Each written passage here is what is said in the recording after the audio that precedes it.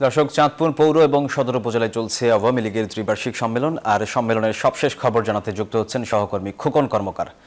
খোকন সম্মেলনের সবশেষ কি খবর আছে আপনার কাছে আমাদেরকে জানান। হ্যাঁ, জি ধন্যবাদ। আসলে আপনারা জানেন যে চাঁদপুর পৌর ও সদর উপজেলা আওয়ামী লীগের ত্রিবার্ষিক সম্মেলন কিন্তু দীর্ঘ ষোলো বছর পর কিন্তু অনুষ্ঠিত হতে যাচ্ছে।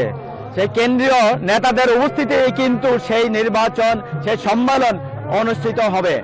তো সেই কেন্দ্রীয় নেতৃবৃন্দদের মধ্যে আহ, তিন আসনের মাননীয় সংসদ সদস্য শিক্ষামন্ত্রী ডাক- ডাক্তার দীপুমণি ইতিমধ্যে আমাদের এই সম্মেলনে অংশগ্রহণ করেছেন।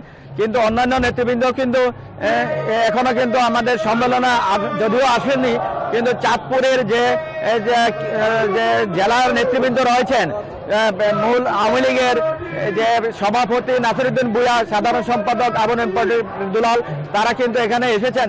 তাদের উপস্থিতিতেই কিন্তু এই যে সেখানে সদর উপজেলা ও পৌর আওয়ামী লীগের সম্মেলন কিন্তু অনুষ্ঠিত, অনুষ্ঠান চলছে। তো কেন্দ্রীয় কাউন্সিলদের এবং প্রস্তাব সমর্থনের মাধ্যমে কিন্তু সেখানে যে নেতা নির্বাচিত হবে, এবং তারাই কিন্তু নির্বাচনে অংশগ্রহণ করতে পারবেন। সেই কেন্দ্রীয় কমিটি কিন্তু তাদেরকে সেই নতুন কমিটি গ্রহণ করবেন।